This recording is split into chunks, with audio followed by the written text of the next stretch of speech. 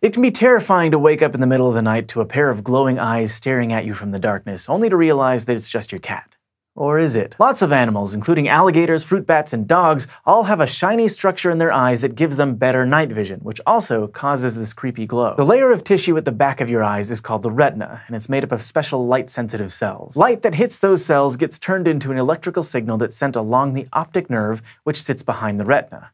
That signal travels all the way to the brain. And light that misses those cells isn't turned into a signal, so your brain can't detect it. Many species across the animal kingdom have this same basic eye structure, from reptiles to birds birds to other mammals like cats. One way animals have evolved to see better is to have more of these light-sensitive cells in each eye. Humans, for example, have over 95 million of them per retina. But a lot of animals, especially nocturnal animals whose eyes have to work well at night, have another way of detecting more light. They have a structure called the tapetum lucidum, which is Latin for bright tapestry. It's a layer of tissue that sits behind the retina and acts like a mirror. The tapetum lucidum reflects light that goes through the retina back at those light-sensitive cells, giving them another chance to detect it. But some of that reflected light flies back out of the animal's pupils, which is what makes it seem like their eyes are glowing. The color of that glow, also called eyeshine, depends on what the tapetum lucidum is made of, and different critters have different highly ordered molecules or fibers that create a reflective surface. Some fish use guanine, one of the chemical building blocks in DNA, and have white eyeshine. Sheep have collagen, which also provides structure to muscles and skin in lots of animals,